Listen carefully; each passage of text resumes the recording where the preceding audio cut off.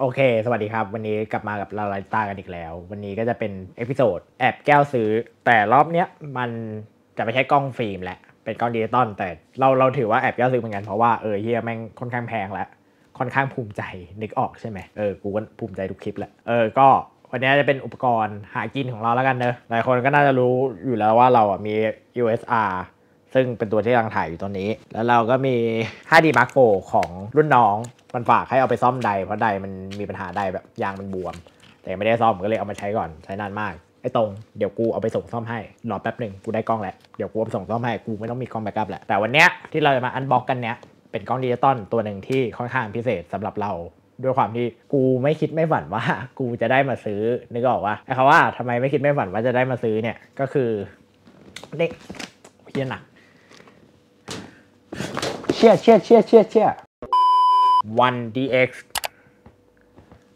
แต่เป็น Mark II เออ ก็คือเป็นกล้องกล้องในฝันตัวหนึ่ง แต่ก่อนเราแกะ 1DX อะเดี๋ยวเราแกะ accessory ก่อน แล้วก็ขอเล่าเรื่องให้ฟังคร่าวๆด้วย ก็คือ accessory ของ 1DX เนี่ย มันจะต้องใช้ CFX Press เนี่ยเราจะมี 2 ใบ แล้วก็มี leader ของ ไม่ใช่ CFX Press C Fast เออ ก็จะเป็น C Fast 2 ใบ C Fast leader แล้วจะมีตัวพิเศษอีกตัวหนึ่งจะเป็น WFT 8E 8EA ก็คือ A ต่อท้ายกันแล้วแต่ประเทศแหละ เป็นคลื่นความถี่ เราจะมาพูดกันถึงดีกว่าว่าทำไมถึงบอกว่าเป็นกล้องในฝัน คือวันดีเเนี่ยหรืออย่างที่เรารู้กันอะมันเป็นกล้องเฉพาะทางมันเป็นกล้องท็อปของไลน์ Canon แล้วถ้าเทียบกับ Nikon คือ D5 D6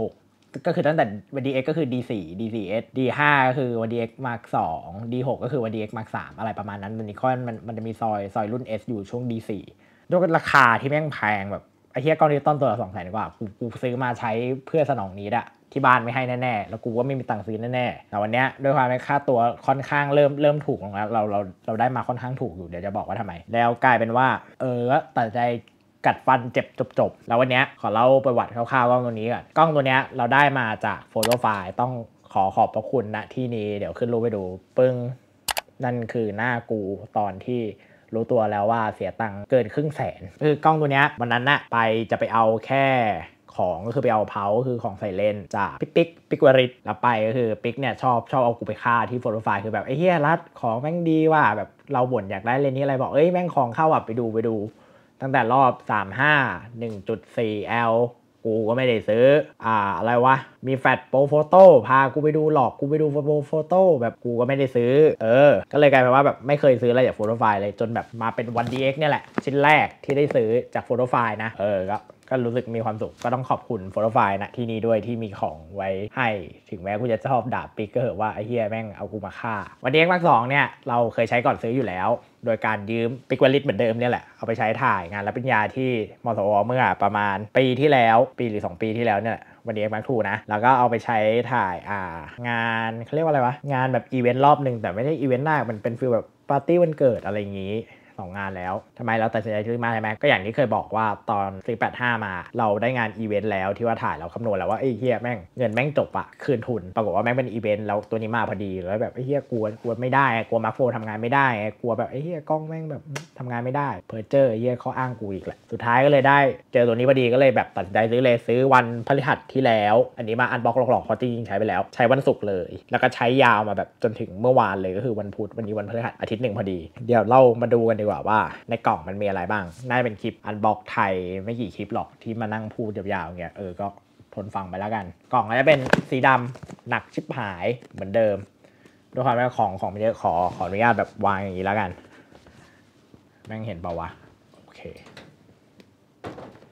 กลัว กูก็กลัวแบบ กูก็กลัวแบบห้องรกมาก แต่ช่างเรื่องห้อง อ่า เปิดออกมาดีกว่าเชี่ยกลัวกล้องตกจริง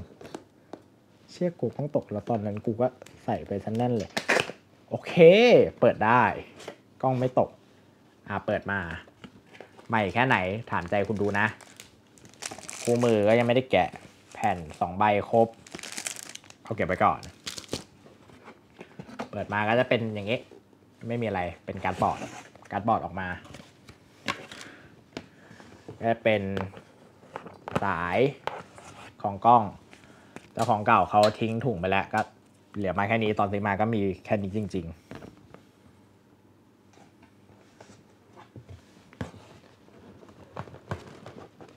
อันเนี้ยพระเอกตระหนักขอวางไว้ข้างล่างเพราะกล้องแม่งหนักโลโลกว่า เออ อะอันนี้พระเอกว่าไปก่อน ข้างล่างก็จะเป็นการ์ดบอร์ดหมดแล้วเห็นปะเห็นไม่เห็นเห็น เออ ก็เปิดออกมาก็เป็นการ์ดบอร์ด ข้างล่างก็จะเป็นอะอันดับแรกสายชาร์จจึ๊บจึ๊บไม่มีถุงตัวนี้ที่ใส่แบตมาให้ แบตอยู่ในกล้องแล้ว ช่างมัน อันนี้ที่ชาร์จ คือชาร์จก็มีรอยรอยบ้างปะปลาย ที่ชาร์จไม่จะเป็น LCE 19ก็จะใช้ตั้งแต่ 1DX Mark II 1DX Mark T แล้วก็ USR 3ที่เป็น Full Body เรือธงนะณณวันนี้นะที่เป็นเรือธงนะวันนี้ อนาคตก็น่าจะใช้ตัวนี้อยู่หรืออาจจะเปลี่ยนแบตอันนี้เราก็ไม่รู้แต่วัน DX Mark 1อะแบตเอามาใส่กับวัน DX Mark 2 ได้ Mark 3 ไม่แน่ใจ แต่ R เนี่ยอาจจะใส่ได้หรือไม่ได้ไม่รู้ แต่ถ้าใส่ได้จริงก็กำลังไฟอาจจะไม่ถึงก็อาจจะทำให้ใช้ฟีเจอร์บางฟีเจอร์ไม่ได้อย่างพวกถ่ายรัวๆแต่ว่าที่ชาร์จอะใช้ร่วมกันไม่ได้ก็ถ้าใครมี Mark 1ก็อย่าเอาแบตเอาแบต Mark 1มาชาร์จ Mark 2ตัวที่ชาร์จก็จะมีปุ่มแคลปุ่มแคลก็คือสมมติว่าแบตมันมีปัญหาเนี้ย ขึ้นแคลในกล้องอะ่ะเราก็มากดตรงเนี้ยมันก็จะแคลแบตการแคลแบตก็ทำในตอนที่ว่าไม่มีถ่ายงานเท่านั้นนะ เพราะว่าการแคลแบตอะ่ะใช้เวลาประมาณวันหนึ่งเต็มๆก็คือแบบ มันจะเดรนแบตออกให้หมดชาร์จเข้าไปใหม่คือแบบเออแม่งคือการ recovery อย่างหนึ่งมั้งไม่รู้เหมือนกันปิ๊กเคยเล่าให้ฟังแต่กูจำไม่ได้ โอเคเราก็จะเหลือตัวกล้องแล้วใช่ไหมตัวกล้องเราก็จะมากันเลยพัมพัมพัมพามพามทำที่อะไรก็ไม่รู้ปุ๊บเปิด อันนี้คืออันใส่รีแพ็คไปแล้ว เพราะว่า หยิบออกมาใช้แป๊บหนึงนะ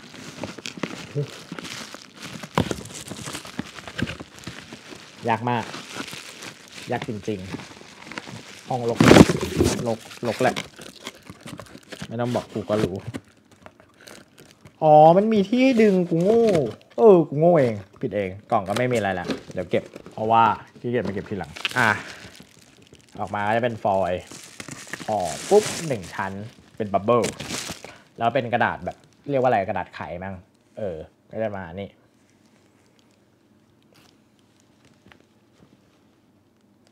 เป็นไง1DX Mark II โคตรเท่โอเค ก็หลังจากเก็บคงเก็บของลงกงลงกล่องแล้ว เดี๋ยวเรามาจริงเป็นควร unbox พวกไอ accessory ก่อนใช่ไหมเดี๋ยวเรามา unbox accessory ก่อนก็จริงๆ มันไม่มีแล้วแม่งก็คือ C fast ธรรมดาแหละปกติ อันเนี้ยอยู่ในกล้องแล้ว เพราะตอนเราซื้ออะเขาแถมไม่ได้แถมหรอกมันขายพร้อมกันก็คือถ่ายสองอันนี้พร้อมกัน อันนี้ก็เป็น CF เอ้ยไม่ใช่ CF C fast ไม่ใช่ CF ถึงมันจะทรงเหมือนกันเถอะ อันนี้ก็จะเป็นอ่า C fast ที่เป็นการ leader ใช้กับ CF e x p e ไม่ได้ CF Card ไม่ได้นะ ถึงแม้มันจะทรงเหมือนกันก็เถอะ C Flash เนี่ยเป็นการที่ออกมาแป๊บเดียวแล้วก็ริมหายใจจากกล้องไม่ค่อยใช้กัน ส่วนใหญ่จะเจอกันในกล้องแบบอ่า Blackmagic Canon 1DX Mark II ใช่ Nikon ไม่มี Canon C200 ใช่ มันมันค่อนข้างแบบเป็นการ์ดเฉพาะทางนิดนึงแล้วใบหนึ่งแม่งแพงมาก แพงแค่ไหนนะ ถามใจมึงดู อย่างใบเนี้ยซื้อมาพันห้าร้อยบาท แต่ราคาเต็มเนี้ยราคาเบิกใหม่อะทุกวันนี้ยังเบิกใหม่ได้นะ คือราคาหกพันสองร้อยห้าสิบบาท จะเป็นอ่าหกสิบสี่กิกกล่องมามันมันก็ไม่ได้มีอะไรหรอกเนี่ย มันก็จะเป็นกล่องเงี้ย กล่องโง่ๆง่อยๆเงี้ย เออ แพงชิบหาย แต่คือข้อดีที่มันดีอะมันคือเร็วกว่า C F card ธรรมดา เพราะว่ามันวิ่งอยู่ที่ 515 เมกะบิต อ่านเขียนอะไรประมาณนั้น ก็จะมี 2 ใบ แล้วอันนี้ก็จะเป็น Canon WFT 8 WFT 8 E A ก็คือของไทย อันนี้คืออดีตประกันสูตรทั้งหมดนะ แต่เมมกูไม่รู้อันนั้นช่างมันเถอะ แกออกมาก็จะเป็นอย่างนี้ อันเนี้ย ปิกฝากขายไว้แล้วปิกก็บอกเอ้ยเอาไปเปล่าปิกมันเคยใช้ไงตอนนี้ปิกมันย้ายไปนิคอนไงมันซื้อมา แล้วมันก็เก็บไว้ให้แบบเออเดี๋ยวมันก็ซื้อสุดท้ายเออเฮียกูซื้อจริง ตัวนี้ก็จะเป็นตัว Wi-Fi ตัว Wi-Fi ก็คือง่าย ๆเลย เสียบกล้อง เสียบตรงนี้ใช่ไหมมันก็จะเป็นกล้องที่มี Wi-Fi เพราะวัน DX Mark II ไม่ได้มี Wi-Fi ในตัว ข้อดีของตัวนี้มันเป็นทั้ง Wi-Fi ที่ต่อโทรศัพท์ได้ต่อ EOS Utility ได้ในคอม ทำ FTP server ได้ FTP server คือเหมือนอาช่างภาพโอลิมปิกหรือถ่ายข่าวเงี้ยอยู่เซตอ่าพวกเซิร์ฟเวอร์แล้ว FTP เซิร์ฟเวอร์แล้วเวลาสส่งรูปอะมันกดได้เลย มันจะเร็วกว่าอ่าการส่งด้วยโทรศัพท์มั้งถ้าจะไม่ผิดแต่ข้อดีคือแบบอ่าสมมติว่าเซตเซิร์ฟเวอร์แล้วมีกล้องอยู่ 5 ตัวคนถ่าย 5 คนพร้อมกันอะคุณสามารถ curate รูปส่งงานได้เลยทันทีทันใดก็ซื้อมาก่อน ราคาเต็มไอ้เฮียเนี่ยสองหมื่นกว่าบาท เออ มันเป็นใบไทยเดี๋ยวให้ดูในกล่องว่ามีอะไร จริงเจ้าของกล่องยังอยู่เลย ถ้าถ้าของใหม่ๆอะมันจะมีซองด้วยมั้งแต่ของของอันนี้มัน เออเออยังมีซองอยู่ ก็จะมีซองใส่ FTP อยู่ไม่ใช่ FT WFT อยู่ นอกนั้นก็เป็นคู่มือใบรับประกันต่างๆ นานาเจ้าของเดิมซื้อมาจากแคนนอนสองหมื่นค่อนข้างหายาก ถ้าใครยังไม่ต้องใช้ก็ก็หาซื้อกูไม่ได้จำเป็นหรอกแต่กูแค่แบบอยากมีอะเอาไปขิงล้อเล่นล้อเล่นก็คือเออก็อยากอยากได้กล้อง Wi-Fi เผื่อเอาไว้ใช้งานแบบรีบรีบส่งรูปด่วน เก็บไงวะอ๋อเก็บได้ละก็เดี๋ยวเดี๋ยวอันนี้ว่ากันอันนี้ก็เดี๋ยวขอขอระไว้แป๊บหนึ่งเออเก็บในกล่องแล้วโอเค เราก็จะมาต่อในตัวกล้องแล้วหลังจากที่เราพูดพร่ำทำเพลงกันไปค่อนข้างเยอะ1DX Mark II ก็อย่างที่เห็นมันก็ form factor มันมันไม่ได้ต่างหรอกนะ ถ้าต่างจริงอะต้องต้องโดดไปเล่น Mark สาม Mark สามก็จะเป็นจอ touch ทั้งหมดแหละ Mark สามแม่งคือแบบ Canon R6 อะ เปิด live view มาคือ mirrorless เลย แต่ตัวนี้ก็ยังเป็นความเป็นกระจกอยู่ มันก็จะมีความช้าแบบ ถ้า auto focus มันก็จะเป็นเหมือนกับอ่า HD Mark 4คือ HD Mark 4เออหลักๆอะ่ะ ถ้าตัวกล้องก็ประมาณนี้ เนี่ยค่อนข้างใหม่ คือแบบ ได้มาถูกผิวสากมาก ผิวแบบสากอะ่ะ ยังไม่มีลงไม่มีรอยอะไรเลยอะเนี่ยคือถ้ามีรอยก็เป็นเป็นแบบเขาเรียกว่าอะไรเป็นรอยแบบรอยไมเนอร์เล็ก ๆ เป็นแบบรอยขนขีดนิดนึงฝั่งซ้ายนี่ก็เห็นเป็นรอยแบบนิดนึงแต่ไม่ได้เป็นแผลแบบแผลลึก แต่ที่แน่ๆคือกล้องแม่งสากกล้องกล้องสากไม่สากสำหรับใครยังไม่รู้คือแบบเวลาเราเราซื้อกล้องดิจิตอลอะกล้องใหม่ๆมันจะสากใช่ป่ะแล้วเราใช้ไปเรื่อยๆหรือใช้งานหนักกล้องมันจะไม่สากเออ อะไรก็ประมาณนั้นแหละ หลักๆนะ ก็ค่อนข้างโปรอะคือ คือถ้าใครเป็นตากล้องแล้วใช้วันดีเอ็กเนี่ยยังไงทุกคนแม่งมองเพราะแบบไอ้เหี้ยแม่งใหญ่ใหญ่แบบใหญ่สัสๆแม่งหนักคือแม่งแม่งดูโปรอะต่อให้มึงดูถ่ายรูปไม่เป็นอะมึงใช้วันดีเอ็กปุ๊บมึงจะดูเป็นโปรมากๆ ซึ่งแม่งก็ ก็นะก็เรื่องหนึ่งโดยสายที่ให้มาเนี่ยมันก็จะเป็นสายพิเศษกว่าชาวบ้านของ Canon คือถ้าสาย R มันก็เป็นอะ ESR ก็จะเขียนชื่อรุ่นแต่ของอันเนี้ยมันจะเป็นสีทองไม่ได้เขียนอะไรเลย เราไม่แน่ใจว่า 1 DX 1 เป็นสายเขาว่า 1 DX หรือว่าเป็นเป็นสายสายทอง แต่แบบ Mark 3ก็เหมือนกัน R3 ก็ยังเหมือนกันอยู่นะ ถ้าจะไม่ผิดโดยกล้องตัวเนี้ยมันจะใช้ CF card 1ใบก็คือ compact flash แบบที่ใช้กันมาตลอดในยุคแรกเริ่มของกล้องดิจิตอลน่ะก็จะเป็นแบบ CF 1สล็อตคือช่องหนึ่งแล้วก็เป็นอีกช่องหนึ่งก็จะเป็น C fast อย่างที่บอกคือความเร็วมันต่างคือแบบ CF อะมากสุดมันจะวิ่งแค่ร้อยร้อยหกสิบส่วน C